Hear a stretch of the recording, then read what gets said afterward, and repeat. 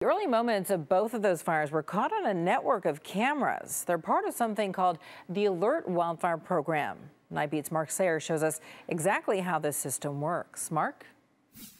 From the highest mountain peaks in California to a site just off Highway 87 here in San Jose, a network of 300 cameras is constantly monitoring for wildfires. You might have seen some of these incredible images of the Kincade fire, like this one from Geyser Peak. This image is a 24 hour time lapse from a camera called Pepperwood East. You can see the winds whipping the flames with the trees blowing in the foreground.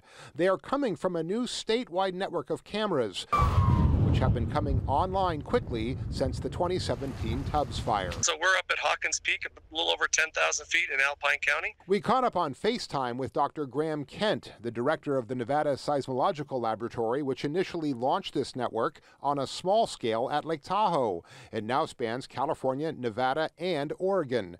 Graham was talking while working at the site of a future California wildfire camera.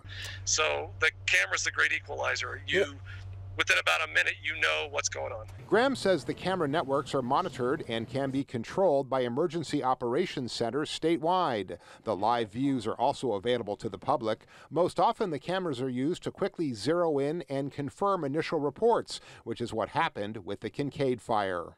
But you have to know early on whether, whether it becomes an evacuation event or with an early like tactical airstrike you need to know how to scale up. The cameras are being used right now in Southern California to monitor the Maria fire in Ventura County. The network caught the initial start of that fire as well. Dr. Graham says now that the value of the cameras is so apparent, the expansion is moving along quickly.